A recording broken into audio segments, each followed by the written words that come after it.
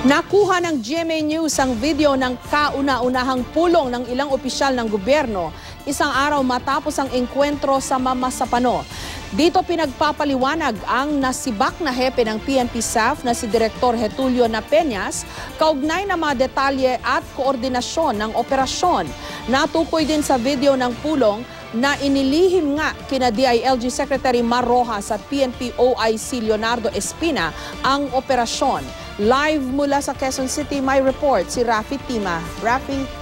Jessica, mababaka sa video ang ating nakuha yung pagkasurpresa nitong si DLG Secretary Marojas tungkol nga sa mga paliwanag nitong si Ina Peña sa kanyang kauna-unahang uh, pulong uh, para ipaliwanag yung nangyaring mamasapano encounter.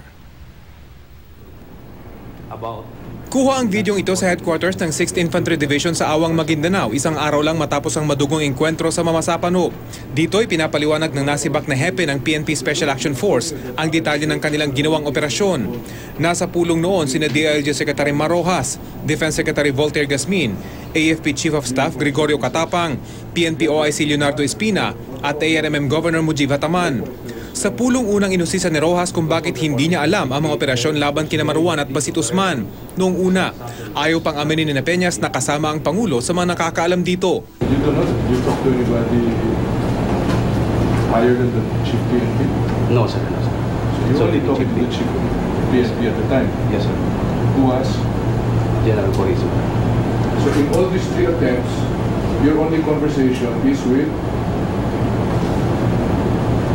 General Purisima. Tila hindi na kontento rito si Rojas. Wala daw kasi siyang kaalam-alam sa mga plano. I, I am SILG. I, I Yes, sir. have not heard of this three attempts or this last attempt. This involves 400 men. So who did you coordinate with? General Purisima, sir. And Who was myself. already On leave, sir. Myself. General uh, Colonel, Senior Superintendent Jojo Mendez. And we briefed the President. Bagamat tila hindi nabigla sa narinig, mabilis na inusisa ni Rojas kung ano ang naging utos ng Pangulo matapos siyang sabihan tungkol sa operasyon. Did the, was there a guidance to keep this from the armed forces? Was there a guidance to keep this from the hierarchy of the PNP? Was there a guidance to keep this to yourselves? My recommendation when I was briefing the President, sir, is we will inform the AFP time on target. May mga sandaling natatahimik ang lahat dahil sa mga naririnig mula kay Napeñas. Pero sa isang bahagi ng briefing, tila nalito ang sinibak na hepe ng PNP SAF kung anong oras ba niya talaga sinabi sa commander ng 6th Infantry Division na nakakasakop sa Mamasapano ang tungkol sa kanilang operasyon. That should be in between 3 to 4 in the morning, sir. That could be checked through the, uh, the text message of General Pangilinan he received that text message. Si Pangilinan na commander ng 6th Infantry Division at underclass ni Napeña sa Philippine Military Academy hindi umimik. Sa halip, ipinakita niya kay Secretary Gasmin ang laman ng text message mula kay Napeñas.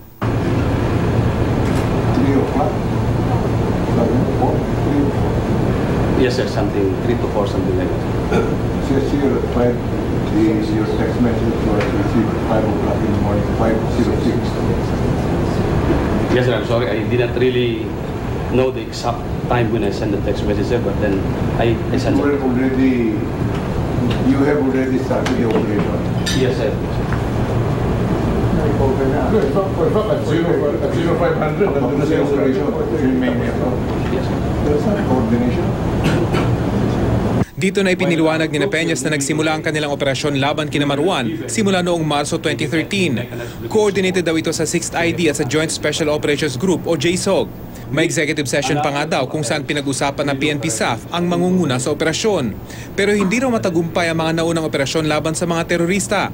Kaya naman binago nila ang plano. Considering the sensitivity of this kind of target, this time, in our task evaluation, uh, task checklist, the coordination with 6ID should be time on target or in, while groups are in the area.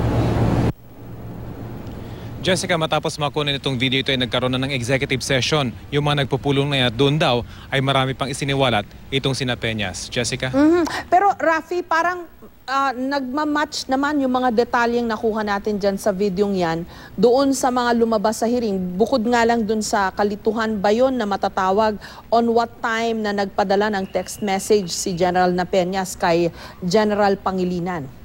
Yes, Jessica, consistent naman siya doon sa sinasabing inilihim talaga nila sa AFP dahil nga sensitibo na raw yung ah, ah, operasyon na yon at ah, nag-fail na yung three ah, earlier attempts nila. Kang kaya't ang sinabi na lang nila ay time on target na nila i-sasabihin sa AFP. Pero nga, ah, nung ah, nilalahad na nitong sina Peñas, kung ano oras pa talaga niya kinoordinate yung operasyon dito naman sa 6th Infantry Division, itila nga nalito itong si uh, Peñas kung anong oras niya. Ang una pa nga niya sinabi doon, Jessica, ay tinawagan daw niya at tinext itong si ah, Pangilinan. Pero lumalabas nga text message nga lang yung kanyang pag-inform sa 6th ID Commander, ah, Jessica. Okay, so ano kaya ang motibo sa paglabas ng videong ito ngayon? Gayong uh, we didn't really uh, find anything new. Ah, 'di ba kasi yung mga major points na brief si Pangulong Aquino, ah, nila Napeñas and Purisima and ah, Mendez, eh lumabas na rin yun dun sa hearing eh. Ah, what is new about this video at bakit inilabas ngayon? Well, Jessica, actually itong video na ito ay uh, matagal na nating hawak pero uh, um, ayaw ipalabas muna ng mga source na nagbigay sa atin ito. Dahil nga sa makikita rito yung mga reaction ng mga opisyal nung marinig nila for the first time na inilihim ito una sa SILG at sa hepe ng uh, PNP o ICPNP at uh, ang Pangulo lamang yung nakakaalam dun sa grupong yun. Bagamat hindi nga nagpahiwatig ng uh, pagkasurpresa itong uh, si uh, Rojas dun sa pulong na yan, eh makikita dun sa o maririnig dun sa kanyang boses na tila talagang ah, ah, masasabi sigurong irritable na siya na bakit napakalaki ng ganitong operasyon eh hindi man lang siya sinabihan. Kung kaya't siguro nakita na, na kung ano yung implication nito sa video ito makikita kung ano yung implication ng mga sinasabi at pinapaliwanag na nitong sina Peñas. Kaya pagkatapos ng series of ah, exchanges na ito Jessica ay nagpatawag na sila ng executive session at doon ay hindi na natin alam kung ano yung mga pinag-usapan pero sinasabing marami pang isiniwalat dito itong sina Peñas sa Jessica. Mhm. Parang ah, nung unang lumabas yung mga balibalita, eh, may mga kwento na nagkainitan daw ng ulo dyan sa pulong na yan. Pero sa video, parang wala tayong nakita. Mukhang kalmado sila lahat. Actually, Jessica, parang talagang uh, tinatry nilang mag, uh, kumaga, uh, kumalma. Uh, bukod, although, of course, itong si uh, Secretary Rojas, eh, talagang pinupush niya itong sina Peñas. Ano ba yung impormasyon mo? Bakit hindi ako uh, naimpormahan? Pero yun nga, siguro nakita nilang implication na mukhang uh, marami silang hindi alam sa naturang operasyon. Kaya uh, they chose to go into an executive session para masabi la lahat nitong sina Peñas yung kanyang uh, nalalaman sa naturang uh, operasyon. Pero dito nga, sa nakunan ng video ito, ay inilahad naman niya na meron ng coordination, prior coordination sa 6th ID itong uh, mga operasyon na ito. Pero uh, tulad nga ng nabanggit na rin niya sa Senado, ay nag-fail ang mga operasyong ito. Kaya uh, pinili na lang nila na ilihim at uh, gawin nilang time on target ang pag-inform nila sa militar, uh, Jessica. Maraming salamat sa iyo, Rafi Tima.